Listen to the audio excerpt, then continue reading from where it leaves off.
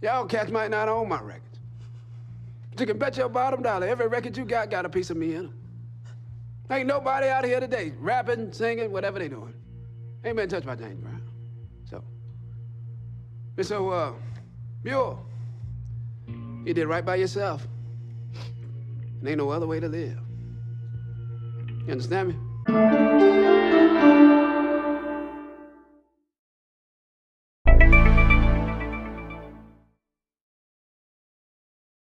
I'm at mom's house. I had to bring my mom some Lysol because Lysol is scarce, but came across a couple of cans, dropped them off at mom's, checked out my brother's car. Um, you guys know that uh, me and my brother had a couple of words because he went out and bought a Hellcat when I told him that he should be uh, investing more so in his business. But hey, he did what he thought was right at the time. You saw an opportunity and you took it. I might have got mad, but you did it right by yourself. I always did right by myself. I'm James Brown, and I made a difference. Not only did he go out and spend over $60,000 on a Hellcat, he also went and bought what I call a baby mansion, spent over $300,000 on a nice house as well. And you know, I felt a type of way, but then I had to think about it. My brother is six, seven years younger than me. So he's like 23 to 22 years old right now. He makes over $30,000 a year just off his passive income. And he works a nine to five job as a government contractor that pays him over six figures a year anyway. So um, he's making six figures. And at the maturity level that I was at six, seven years ago, I probably would have done just the same thing. I'm still not gonna give him a pass. I'm still gonna encourage him to be wiser with his money, to make sound investments and etc. But you know, at the end of the day, gotta love him and gotta continue to look out for him. Now, that being said, the reason why I'm giving you all of that backstory, it is raining in the Carolinas today. I told you guys I'm at my mom's house. He has a Hellcat and a Charger. Driving the Charger because he doesn't want to put a ton of miles on his Hellcat, but he left the top open on his Hellcat. Good God.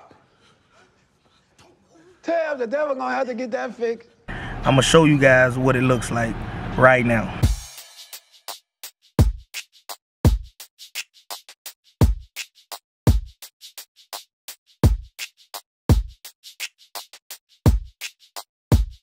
Now it's supposed to be a big thunderstorm coming down here soon.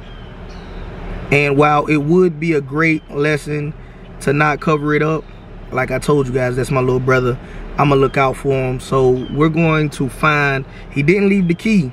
So we just gonna have to make do and ghetto fight a Hellcat just to make sure that uh, we don't ruin his $60,000 investment. But I'm definitely gonna send a bunch of pictures to him and let him know, hey, if you would have spent $60,000 in your business, it raining today will probably not have mattered. But since you spent $60,000 on a car that you drove and forgot that you left the sunroof open, if I didn't come today to bring mom Lysol, it could have been way worse.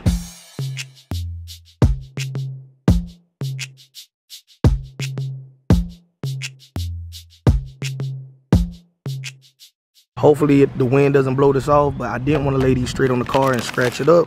So just a big trash bag, some bricks,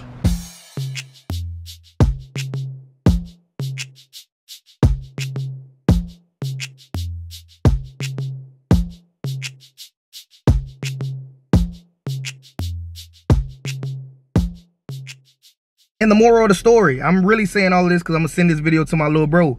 Next time big bro tell you, don't spend $360,000 on a baby mansion and a Hellcat. I know what I'm talking about.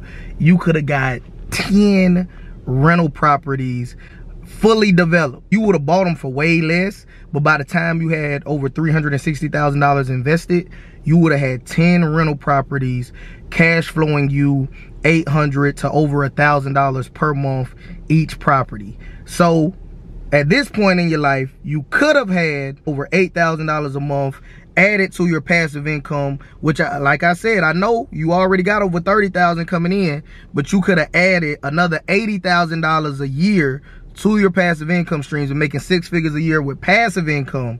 But instead, you have a nicer house than me. Salute.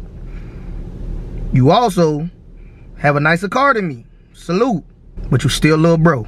Oh, shit, Charlie Bill. I got to go.